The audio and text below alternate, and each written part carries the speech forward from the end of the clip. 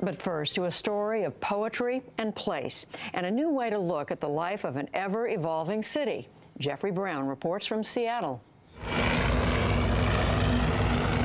How do you map a city in all its complicated glory?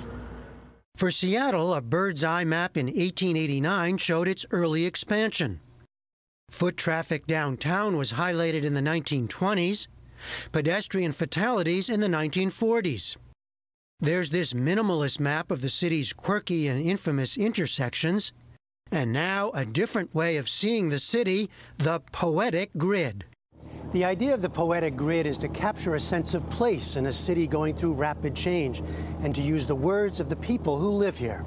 I have a background in urban planning, and um, you know, it was a happy convergence, I think, of my interests in poetry and place.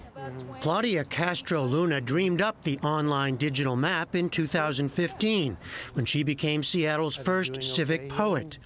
It's a two year position administered by the city's Office of Arts and Culture. She ran a series of workshops at Seattle's public libraries and asked people to write about the place they live. We all have stories to tell about the place we live in, and we all have uh, memories attached to the place we live in. And so, you know, it was like opening up a faucet, and people have stories to tell. And that's one of the marvelous things. At the end, I told them, you will write, you will see, you will have a poem. And indeed, they had one. And it's such a, it's such a pleasure, know, it's a pleasurable thing. The poems for the grid span the city. Some are about home, memories of growing up in the affluent Blue Ridge neighborhood. Others are about homelessness, the cold concrete of a Seattle underpass. There are poems left in their native tongues Spanish, Arabic.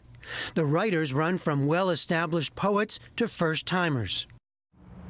And they reflect the diversity of the changing city, where cranes dot the skyline. Seattle is adding more people per year than during the post gold rush boom years. Some of the poems express very well what it feels like to not recognize the place you grew up in because the buildings that you had so much attachment and were meaningful to you are no longer there. And the sense of dislocation, of turning a corner and the building that was there is no longer there. It's um, changed that fast. Oh, yes, it has. Hing Hay Park in Seattle's International District has seen its share of change. I first moved in here when I couldn't afford rent anywhere else in the city and my uncle said, well, there's a room here for $60 a month. I came here to look at it. There's a tiny little table. I said, I can put my typewriter on top of that. So I took the room. Koon Woon was born in China but moved to Seattle in 1960. In the 1980s, he lived just a block from here, sometimes homeless, struggling with mental illness. His poem, The High Walls I Cannot Scale, is now part of the grid. Desolate in my Chinatown morning, among the scraps of people sleeping in urine doorways, I ache from the politics of the heart. Pigeons flock together in Hing Hay Park. No children to greet them. I walk for my sanity, sense alone in my room before dawn. The mind constructs improbable things. Why are you writing about these things? Well, I first started writing poetry as a, um, as a way to deal with my mental illness. Uh, I could articulate my feelings and uh, trying to uh, clarify to myself what my thoughts were. I try to separate the illusions from reality. Well, there go the pigeons you write about, huh? Yeah, that's the flock of pigeons. And, yeah. I always enjoy coming back. For 17 year old Lily Baumgart, animals figured into her writing as well. The squirrels here are very aggressive. They expect to be fed by people. Uh -huh.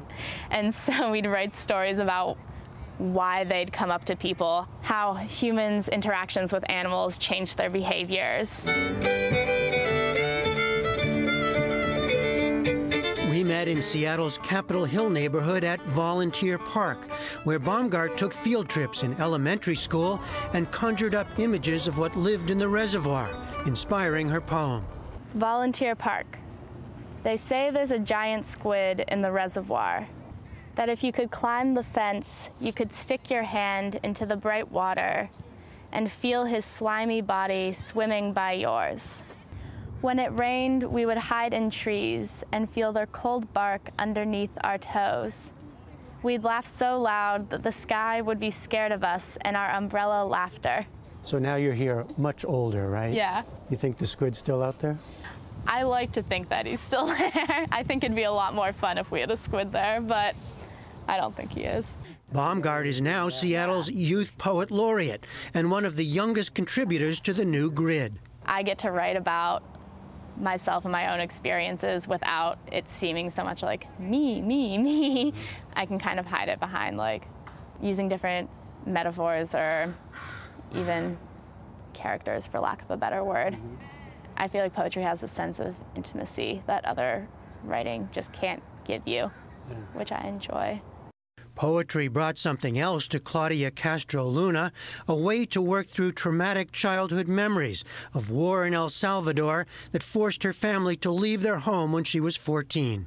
It was a tremendous loss of place, of culture, of family, of language, and I think it's taking me my entire life. Actually, I think a lot of all of my writing has to do with understanding that, what it meant to to lose that place. And this is why I'm interested in other people's uh, lives and what they have to say about the place they occupy. A corner to love. Maps of the city number in the thousands, each unique and folded neatly inside each citizen's heart. We live in the city, and the city lives in us. Castro Luna's term as civic poet has ended, but she plans to add more tales of the city to the evolving online map. For the PBS NewsHour, I'm Jeffrey Brown in Seattle, Washington. You can watch the poets read their full poems on our website, pbs.org/newshour.